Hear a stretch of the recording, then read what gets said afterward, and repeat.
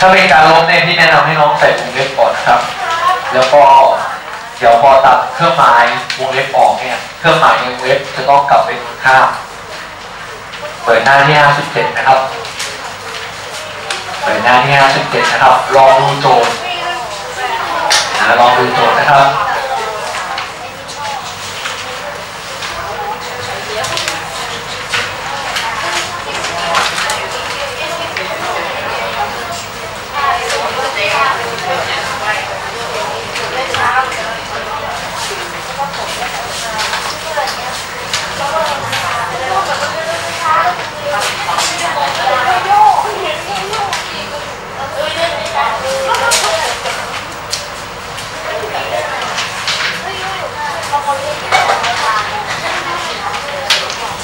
หน้าที่57นะครับข้อที่2นะครับ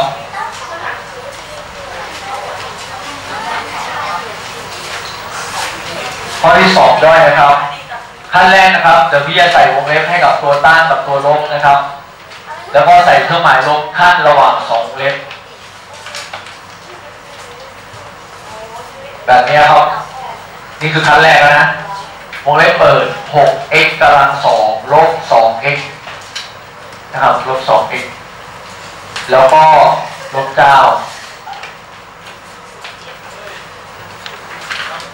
ลบด้วยลบสี่ x นะครับ บวก5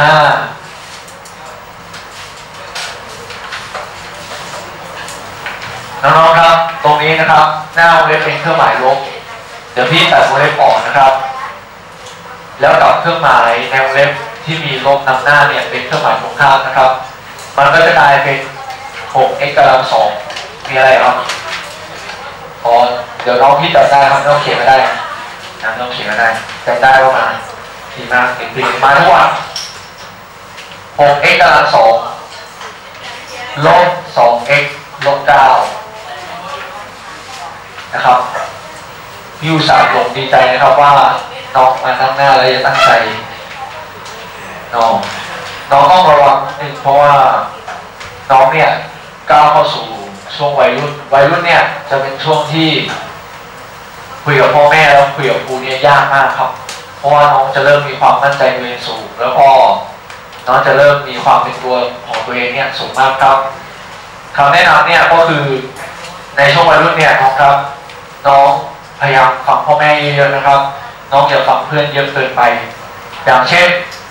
บางอย่างเนี่ยที่เพื่อนมี แต่น้องฐานะของ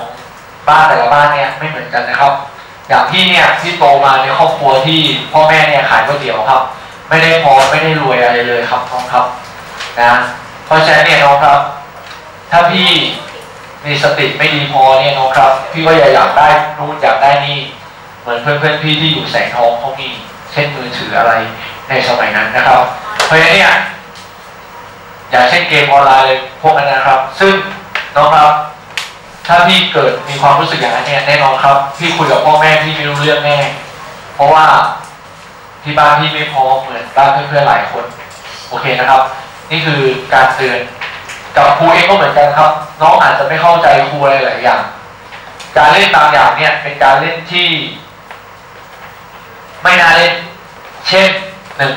แต่งฉายาให้ครู เนี่ยเป็นการเล่นที่ไม่น่าเล่นครับ เพราะว่าการแต่งฉายาให้ครูเนี่ยเป็นการนำพาไปสู่พฤติกรรมอื่น ๆ ที่ก้าวร้าวกว่าการแต่งชื่อนะครับเข้าใจไหมทีนี้การแต่งชื่อฉายาครูหรือว่าการล้อครูอะไรเงี้ยเป็นพฤติกรรมที่ไม่ถึงหน้ารังเกียจอะไรมากมายเพียงแต่ว่ามันจะเป็นตัวที่จะพาน้องเนี่ยก้าวไปสู่พฤติกรรมอื่น ๆ ที่ก้าวร้าวกว่านั้น นะครับ เพราะฉะนั้นเนี่ยน้องครับพี่ขอฝากไว้นะ น้องตอนนี้อายุ 12 13 บางคน 11 นะครับกำลังแล้วครับกำลังถึงวัยที่พ่อแม่จะปวดหัวที่สุด กับน้องครับ ในช่วงอายุประมาณ 12 ถึงประมาณ 20 เนี่ยครับ พ่อแม่จะมีแต่เรื่องราวที่ปวดหัวกับน้อง ไม่ว่าน้องจะเรียนเก่งหรือไม่เก่งครับ แต่ว่า ถ้าเรียนเก่งก็มีอีกปัญหาหนึ่งครับ โอ้ลูกฉันจะติดนู่นติดนี่ไหม ลูกฉันจะสอบติดไหมเข้าใจไหมก็เครียดอีกเพราะฉะนั้นเนี่ยพี่ขอให้น้องเนี่ยเตรียมตัวรับสภาพแบบนี้ได้เลย แล้ว อะไรหลายอย่างในตัวน้องเนี่ยก็จะเปลี่ยนไป ถูกต้องที่กำลังพูดถึงหลักวิทยาศาสตร์ ถูกต้องครับน้องครับ เพราะว่าฮอร์โมนในร่างกายน้องเนี่ยก็จะเปลี่ยนไปไม่เหมือนวัยเด็กแล้วน้องเนี่ยเริ่มมีสิวขึ้นมีอะไรนะครับ หลายๆอย่างเพราะฉะนั้นเนี่ยน้องครับ ที่ขอให้น้องนะครับ เตรียมตัวรับมือกับภาวะแบบนี้ครับ คุณครูเองก็เหมือนกันครับ คุณครูท่านใดนะครับ ที่ไม่เข้าใจว่าเด็กวัยเนี้ยคุยยากนะครับ เช่นคนที่ไม่เคยเป็นครูมาก่อนนะครับ แล้วเจอเพื่อนเราบางคนในห้องนี้นะครับปวดประสาทนะครับรับรองครับนั่นเลยครับ ถึงเป็นข่าวหน้าหนึ่งไทยรัฐครูกับเด็กชกกันถูกไหมครับ น้องน้องเห็นตามข่าวไหมครับ ถูกไหมนั่นแหละครับเป็น วัยแห่งวัยละเลยและคุณครูบางคนเนี่ยเขาไม่เข้าใจธรรมชาติข้อนี้แต่พี่เข้าใจ พี่ยอมพร้อมที่จะเหนื่อยกับการที่ต้องเตือนน้องหลายรอบว่าน้องตั้งใจนะครับตั้งใจนะครับตั้งใจนะครับ พี่ขอพูดสักพันครั้งถ้าในการพูดพันครั้งนั้นเนี่ยนะครับ ครั้งที่พันเนี่ยน้องเข้าใจพี่ยอมเหนื่อยครับ เด็กหญิงจุ จตุพรครับจันทระจันทนุรัตน์ใครเอ่ยจตุพรเด็กหญิงจตุพรจันทนุรัตน์มีไหมรู้จักไหมใครรู้จักบ้างครับจตุพรจันทนุรัตน์จตุพรรู้จักไหมใช่สองคนนั้นไหมน้องครับน้องฟิลครับเอ่อใช่เพื่อนสองคนนั้ชื่อจตุพรไม่รู้จักนี่แต่สองคนนั้นน้องรู้จักชื่อจริงไหม รู้จักแต่ไม่ใช่ชื่อจตุพรนะครับ โอเคครับ พี่จอยขอบคุณมากครับ ไม่มีครับ แสดงว่าอาจจะเรียนที่อื่นหรือว่าอาจจะไม่ได้เข้าเรียนแน่เลยนะครับ ไปธุระอะไรหรือเปล่าโอเคครับ นี่คือพี่ฝากไว้นะพี่ฝากไว้พี่ฝากไว้ ช่วงวัยรุ่นของพี่ พี่ก็ยอมรับว่าพี่ทำให้พ่อแม่ปวดหัวบ้าง แต่ว่าไม่ถึงมาก ไม่ถึงกับมาก ถ้าเทียบกับเพื่อนรุ่นเราคราวเดียวกันเนี่ยพ่อแม่พี่ก็ต้องปวดหัวบางทีเนี่ยพี่คุยไม่รู้เรื่องก็มีบางทีพี่ยอมรับนะครับมาตรฐานละจากนี้เนี่ยน้องอายุ 12 3จนถึงน้องอายุประมาณ 20 พอน้องอายุสักประมาณ 20 เนี่ยน้องจะเริ่มคิดได้แล้วครับว่าเราสมควรจะตั้งใจเรียน และจบมาสมควรจะตั้งใจทำงานนะทุกคนครับนะพี่เชื่อว่าทุกคนเนี่ยมีปากเสียงกับพ่อแม่ ไม่มีใครครับที่ไม่เคยเขียนแขวพ่อแม่ถูกไหมมีไหมฮะใครไม่เคยเขียนพ่อแม่บ้างนะเกิดมาชีวิตนี้ไม่เคยพ่อแม่อยากให้ทำอะไรก็ทำตลอดพี่ว่ายากครับน้องครับคงไม่มีนะครับ อ่าน้องครับต่อนะนี่ต่อไว้ด้วยนะ ขอเตือนนะ อะต่อน้องครับ ถ้าหน้าวงเล็บใจเป็นเครื่องหมายลบเนี่ยนะเวลาเราตัดวงเล็บออกเนี่ยเครื่องหมายวงเล็บต้องกลับเป็นตรงข้าม มันก็จะกลายเป็นบวก 4x นะครับ แล้วก็ลบ 5 น้องๆครับลบ 2x บวกด้วย 4x ลบ 2 บวก 4 มันจะได้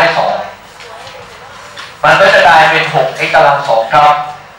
บวก 2x แล้วก็ลบด้วย 14 น้องๆครับ ต่อไปข้อ 3 ครับน้องครับ ใครทำไปแล้วลองทำให้หมดเลยนะครับ3 x กำลังสองลบ x นะครับ ลบ5ลบด้วยวงเล็บเปิด4 x กำลังสองลบ2 x บวก1กลายเป็น3 x กำลังสองลบ x 3 x กำลังสองครับติดเบนตรงครับ3 x กำลังสองลบ x ลบ5ลบสี่ x กำลังสองบวกสอง x ลบ1นำพจน์ที่คล้ายกันมาลบกันครับ 3x กำลังสองไปลบด้วยสี่ x กำลังสองครับ ก็จะติดลบ 1 x กำลังสองลบ x ไปบวก 2x ลบ 1 บวก 2 ได้ 1 ลบ 5 ไปลบกับ 1 ติด ลบมากขึ้นเป็นลบหก